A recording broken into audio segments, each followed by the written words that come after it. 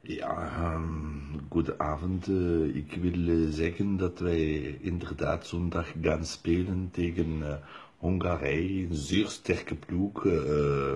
die zitten goed in hun spel. Ehm, maar ja, wij gaan voor de winst. We gaan tot de dood gaan.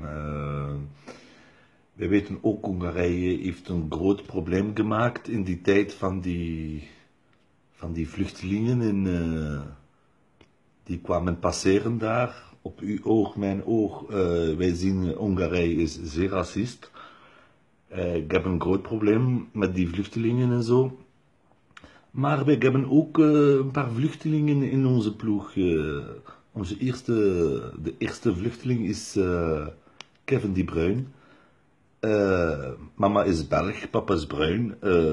die is ook gevlucht van Drongen naar Manchester City. Dus uh, dat is een jongen met harde shot en zo. De verdediging van Hongarije gaat problemen krijgen. Uh, we hebben nog vluchteling, uh, heel, een heel grote vluchteling, dat is Marwan Fellaini. heel groot, veel haar.